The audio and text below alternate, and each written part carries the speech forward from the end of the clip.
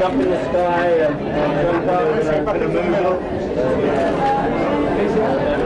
here, straight Oh, sorry.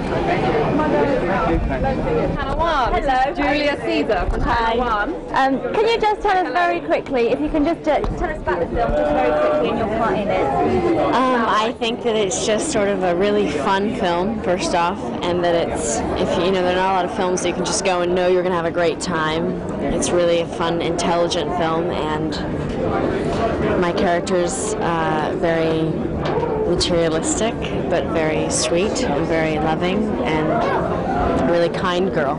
So What about all the attention you were receiving? How do you like it? I have a really hard time with that, but I, I love that I have a lot of opportunities now that I didn't have before. I can do what I want to do. How are you liking it in London? Love London. Love it.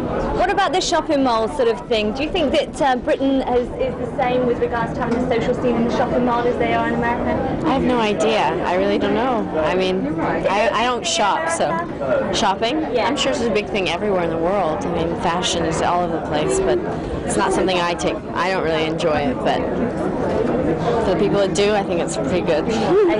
Thank you Thank very you. much. Tell us just one last thing. What do you want people to go to Clueless to see? What do you want them to expect from the film? I want them to get in the end that it, the point is is that it really isn't about what you look like and it isn't about what you put it's about the inside and that's really important to me and I hope that the irony of the film doesn't like overtake itself that you really get that it's really really important how you are on the inside because I think that's what the whole thing's about.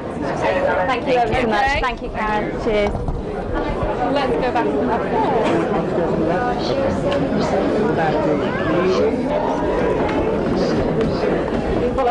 Follow Kelsey.